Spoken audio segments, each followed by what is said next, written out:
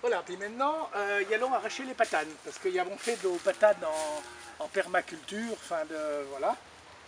Il est balancé de, de semences de patates sous des feuilles mortes de ces dernières années, là, de, de, de quoi de même? Regardez, hop, hop, là, regardez les patates, ah, si tu es avec mode, on n'a pas besoin de déchets pour en ramasser.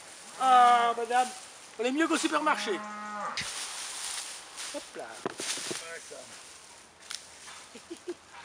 Ouais, je sais, on va me dire, euh, et le geste auguste du moissonneur, récoltant les fruits de la glèbe qu'il a ensemencé. Euh, en fait, euh, tout ça, on s'en fout hein, complètement. hein. On m'a aussi dit, ouais, la loi du moindre effort. Mais évidemment qu'il faut en faire le moins possible. Comme ça, moins on en fait, plus on peut en faire. Même pas besoin de bêche. La terre est point dure. Il n'y a qu'à gratter. Ah, vous avez vu ça? Un seul pied de patate Non, en fait, faut pas croire tout ce qu'on voit sur YouTube ou à la télé. Non, en fait, pas tout à fait vrai. Chez nous autres, les petites patates de même, on nous appelle des abernottes. Même qu'à Noirmoutier, là, on en fait la benotte. Parce que la bernotte, en vrai, on est la noisette de terre, on est le conopodium.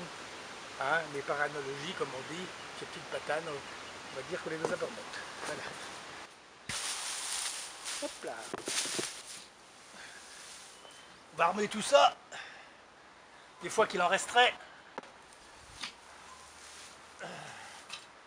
Faut pas gâcher le pain que Dieu nous donne. Enfin, il nous le donne à condition qu'on bosse un peu pour l'avoir quand même. Qu'est-ce que qui disais Ouais, ben tout ça sans faire grand chose, comme quoi la permaculture, bon, marche. On marche, on marche, ouais, ouais, ouais, ouais, ouais. Hein, hein. On est peut-être pas moral hein, d'avoir une si bonne récolte sans avoir rien fait. Mais bon, bon, marche de même.